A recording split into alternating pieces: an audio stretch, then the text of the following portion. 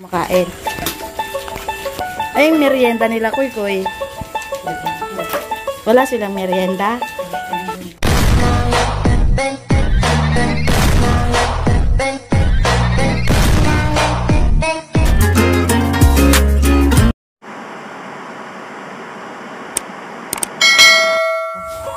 Ayun guys, so for today's vlog po ay papakita ko ay papakita ko po sa inyo kung paano po namin sila pinapakain at kung ilan po yung kinakain po nila sa araw-araw. So, bali dalawang beses po yan sila kumakain guys. So, mamaya po makikita ko po sila. So, para po sa mga bagong kaibigan po natin dyan guys, please don't forget to hit the notification bell below po para ma-notify po kayo sa susunod ko pong vlog. Kaya na guys, yan na. Po namin. Ilang takal na yun kuya? So, bali sa umaga guys, apat, apat na takal po na. Ito po yung Nissin Cup Noodles po yung sukatan po ng pagkain nila. Ayan, matakaw na sila. Apat hanggang walo. Bali, dalawang beses lang po sila kumakain sa isang araw. Umaga at saka tanghali. Tapos Tapos nyan guys, ayan. Lalagyan ng tubig para medyo basa-basa siya. Para mabilis nilang maubos. Ayan. Ayun, malikot yung puti, guys. Malikot yung kulit. Lilipat na naman siya. Ayan, matingin sa camera. Sige, lipat pa mo. So, ayan guys, ganun po sila kumakain. Ay, merienda nila, kuy, kuy. Wala silang merienda. Painom lang na. Oh my God. Hmm? Ngayon, maglilinis si kuya. Guys, pero ayaw kong ipakita. Nililinisan niya ang pupo nila. Dapat lagi-lagi pong nililinisan yan guys para manatili po silang mabango at malinis. Bawal din po silang liguan po araw-araw. Kasi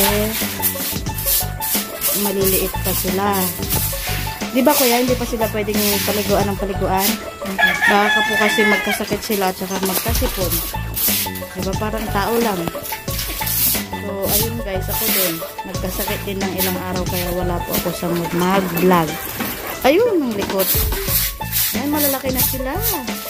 So guys, yung isang sako po na 50 grams, bali, ano na po siya, hug, hug starter na po yon Yung baby, yung baby starter po, patapos na po yun. Hindi na po namin ginagamit, hindi na po namin ginagamit yun yung, eh, yung hug starter na po. Malikot. Ayan. So, pag medyo malaki-laki na guys, pakakainin po namin sila ng kangkong. Yun po yung sikreto po para makatipid-tipid po tayo sa kanilang pagkain. Yan, takaw sila. Ayan, mahaba na yung white. Yung white yung paborito ko kasi malakan siya agad oh. Tapos ito naman.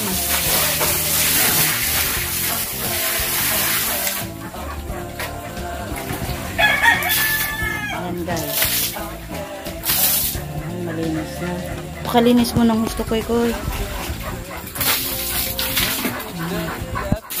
Lagi-lagi pong nililinisan po ni Kuya. Pag may nakita na po siyang pupo nila, kahit konti, tinatanggalan po niya para hindi po sila mamahi.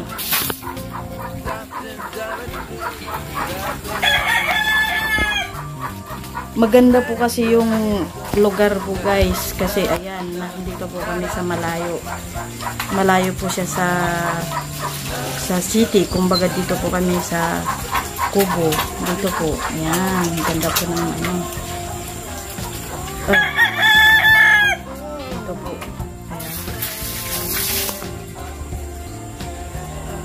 Sana yung mga tilapia? Dito muna tayo sa tilapia guys. Ha? Ayan.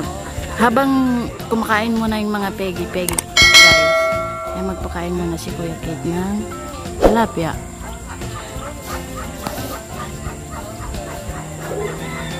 Si Lolo wala po kaya nakapag-vlog po ako kasi pag dito po siya nahihiya ako. Yan, medyo malakas-lakas po guys yung boses natin yan. Yan, ay mga tilapia.